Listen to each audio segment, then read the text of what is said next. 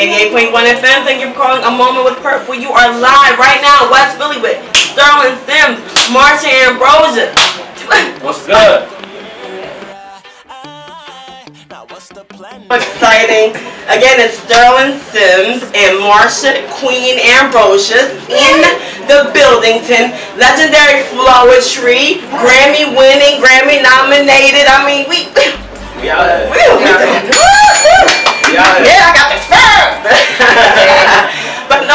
no, appreciate you coming down.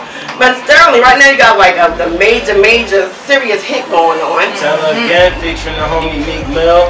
You know what I'm saying? It's now available on iTunes. Make sure you go cop that. Early. You know what I mean? Request that everywhere. You know what I mean? Started putting in work, man. Get ready to put this album out. You know what I'm saying? Yeah, yeah, yeah. I'm saying he's real serious. All right, all right. Ladies, in case you want to know, yes, he's all tatted up. He got all them the muscles, you know. Purple Queen like the muscles. It's a little Hercules. Hercules. It's hot outside. you know what I'm saying? they got the tank tops on, ladies.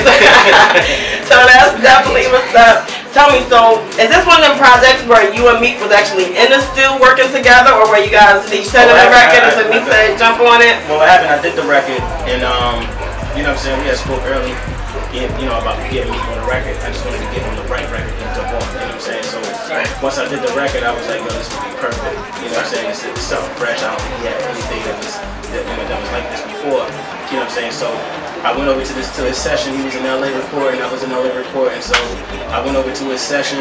Sat around for a minute. He was doing a lot of joints. You know what I'm saying? So Right. I definitely appreciate him taking out the time. Yeah. You know what I mean? To really go in on it. You know what I mean? When he heard it, he jumped dude. right on it. Oh He no, for sure, man. That's the homie, Yeah, man. definitely so.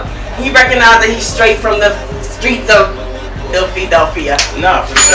Like, you know? I- I applaud he is from the too, man. He really chased his dream. Yeah, he went out and got it, man. I applaud him for that. man. Right, right. Real And, rap. and he started out from, you know, is this From the our bottom. Like, you know mean? He really went in from you know, he started out from the bottom.